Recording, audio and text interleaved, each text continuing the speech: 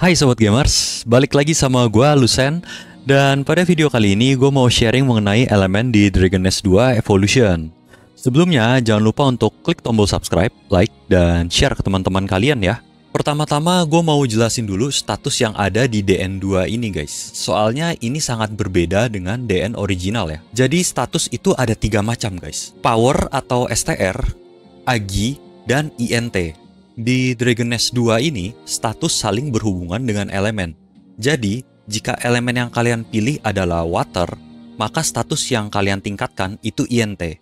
Tapi kembali lagi ke kelas masing-masing guys. Ini hanya contoh aja ya guys. Bukan artinya kalau kalian pakai elemen water, itu artinya kalian pakai INT. Lanjut. Sekarang apa hubungannya status dengan elemen guys?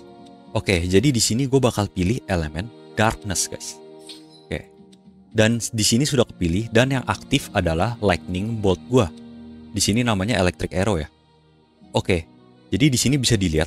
Sekarang elemen gua yang aktif adalah darkness. Dan kemudian kalian bisa klik elemen di bawah sini. Nah, ini elemen darkness. Yang terbaik itu untuk elemen darkness itu apa? Itu adalah INT guys, karena anak panahnya naik dua di sini. Dan kalian untuk memastikan bisa pilih info dan di sini bisa dilihat. Kalau gue menggunakan darkness, maka intelligence intelligence gue akan meningkat sebesar 14,42% guys. Nah, inilah alasannya kenapa kalau kalian party Abyss dengan BP yang tinggi, tetapi damage-nya kok rendah gitu, kok kalah dari kalian gitu. Nah, kemungkinan besar dia itu salah naikin status guys. Oke, selanjutnya gue bakal kasih contoh lagi. Misalkan kalau gue memilih uh, fire ya, dan di sini gue fire ternyata nol ya, jadi gue tunjukin aja di sini. Misalkan gue pilih elemen fire di sini, Berarti status yang harus gue tingkatkan adalah STR guys, atau power. Di sini bisa dilihat juga melalui info. Dan jika gue menggunakan power, maka ya, power gue akan meningkat sebesar 9,6% guys. Tapi mengenai elemen ini, tolong jangan sampai salah guys. Jadi di setiap kelas itu memiliki kelebihan dan kekurangannya masing-masing terkait dengan elemen ini. Uh, gua bakal ambil contohnya ini misalkan Priest.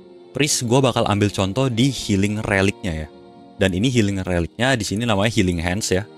Oke, untuk skill healing hands ini kalau gue menggunakan elemen light maka max HP healing gue sebesar 14,40%. Memiliki peningkatan sebesar ini guys. Kalau gue ganti dengan elemen water, maka max healing gue akan turun menjadi 12% saja guys.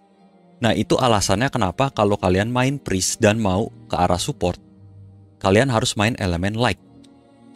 Karena healingnya itu lebih besar guys. Dan ini juga berlaku untuk kelas lainnya. Jadi tolong dibaca juga untuk detail-detail skillnya ya guys. Jadi jangan hanya sekedar lihat elemennya apa maka statusnya apa gitu. Nggak seperti itu guys. Terus naikin statusnya gimana bang? Oke, untuk naikin status, tentunya kalian harus farming equipment dan cari status yang sesuai dengan elemen yang kalian gunakan guys. Jadi misalkan kalian farming di Dungeon Abyss dan kalian akhirnya mendapatkan equipment rare. Atau enggak kalian farming di Lair dan kalian masuk ke Minotaur dan kalian mendapatkan equip epic. Nah, di sini kalian bisa lihat Oke, di sini gue kasih contoh dan ini gue akhirnya mendapatkan equip epic dengan status INT guys. Di sini intelligence plus 8 dibanding dengan status lain paling tinggi intelligence. Nah kalian juga nggak perlu repot-repot guys ngelihat-lihat statusnya harus diklik gitu. Kalian cukup lihat lambangnya aja. Jadi di sini bisa dilihat kalau kepala gue itu lambangnya INT dan pauldron gue ini lambangnya INT, kemudian baju gue lambangnya itu STR, lambangnya power.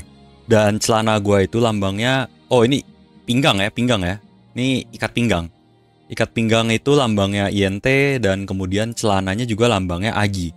Jadi cukup dilihat dari lambangnya aja guys. Nggak perlu kalian cek-cek segala macam isinya gitu. Oke, kalau naikin elemennya gimana bang? Nah, untuk elemennya sendiri, kalian cukup buka Dragon Rune. Nah, di sini guys. Kemudian mencocokkan Tetrisnya saja. Udah kayak gitu aja guys.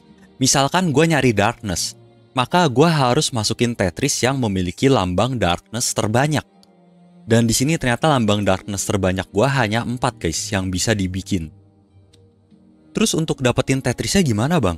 Nah, untuk dapetin Tetrisnya, kalian bisa masuk ke dalam Activity, kemudian pilih Solo, kemudian cari Seal Breaker. Nah, ini guys. Dan ini dapetin Tetrisnya. Terus untuk dapetin Tetris berikutnya ini kan hanya putih dan hijau ya.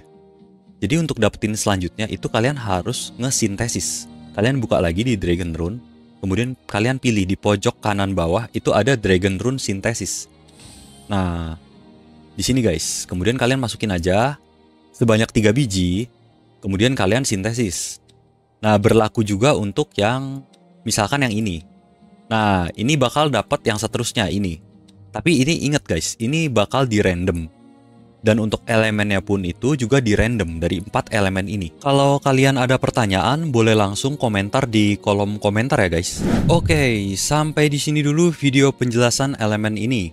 Jangan lupa untuk klik tombol subscribe, like, dan share ke teman-teman kalian ya.